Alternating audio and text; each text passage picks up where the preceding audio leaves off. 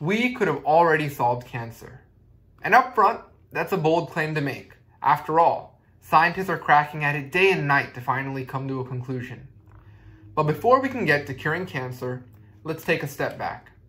How about a lot of steps back? Back to the basis of knowledge in our society school. Now, here's what I want you to do think of all the times that you went home from school. And when you were asked, So what did you learn at school today? You came up empty handed.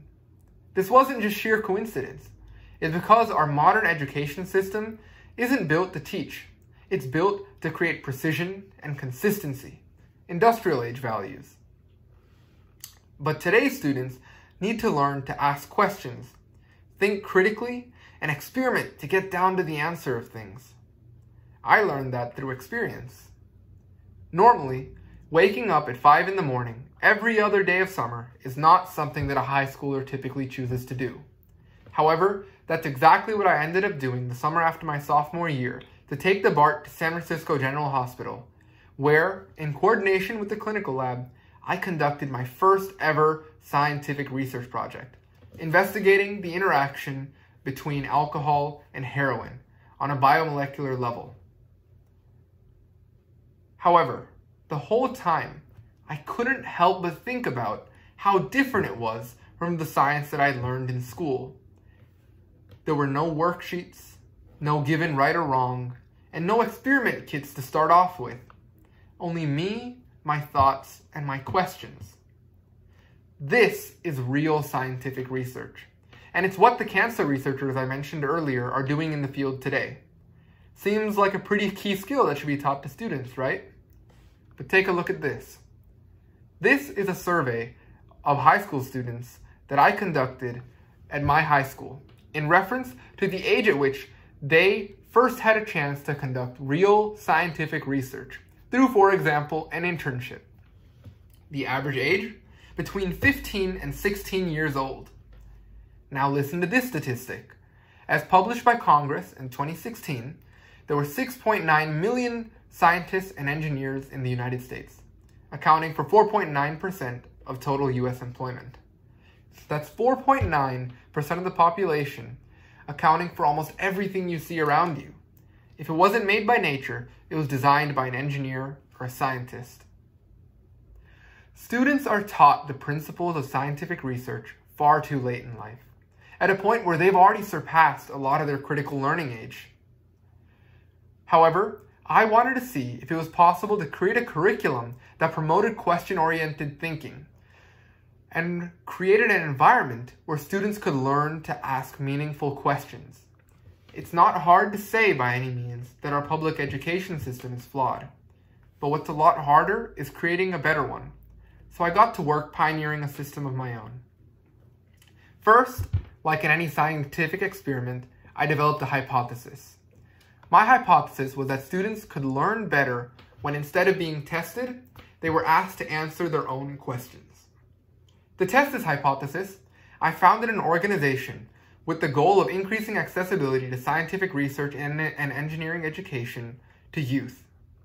Our first test was at Warm Springs Elementary School in Fremont, California, where we worked with the school to develop an after-school program, where we divided the students up by grade and then taught various topics that were up and coming in their fields, such as energy sciences, or immunology, or earth sciences we specifically focused in on areas that were in the cutting edge of each of their respective industries. For example, in earth science, focusing on radioactive materials in space, and in energy sciences, focusing on the race to develop a more efficient solar panel, or in immunology, discussing the human race versus rapidly evolving diseases, which coincidentally happened at a time prior to the pandemic. Our goal was to have the students develop their own questions, questions that really inspired and motivated them. We then, in the next phase of teaching, discussed the fundamentals of scientific research and engineering, explaining concepts such as the scientific method, how to read and write papers, and how to create research proposals. After all this was done, we had the students create questions of their own, students as young as 10. And these weren't any typical science fair questions, such as what color will a tooth turn if I keep it in soda for a week. These were questions like how do pleasant scents during sleep affect dreams? Or what materials are needed for life to form?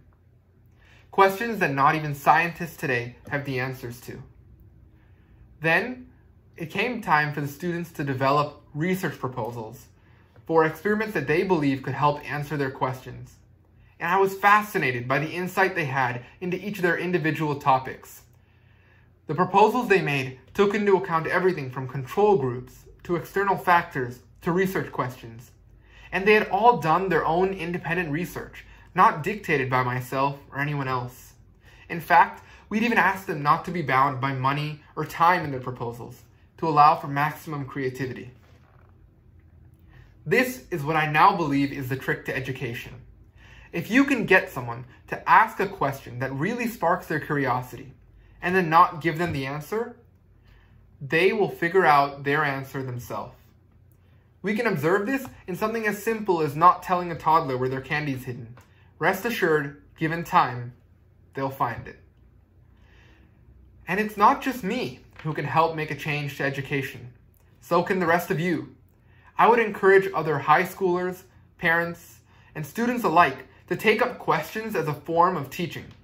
Use scientific research and question-oriented thinking as a form of teaching students. You'll end up equipping them with the toolkit they need to succeed in life. The ability to ask questions and be creative. And create your own experiments. Ask questions that I might not have. And together, we can create a better form of education. But now, let's think about what my experiment means in terms of our contemporary school system. We saw elementary school students coming up with research proposals for experiments that PhD students are carrying out today. Granted, the proposals would have needed many edits to become viable experiments, but it just goes to show how our education system could be a lot more effective. Now these students, with their questions and their experiments, they did not all conduct the same research. For example, within neuroscience, some studied psychology, some studied the neuron, and some studied the effects of gene editing on the brain. They all went in different directions with their research, something our modern education system misses out on. In the classroom, all the students learn the same thing. They aren't made out to be specialists or follow their own interests and passions. But can you find two innovators who took the same path to innovation in life, who had the same passions, same education, same job? Same ideas? No, right? Then why do we enforce this precision onto our students? Let's learn to ask some questions about it. Thank you.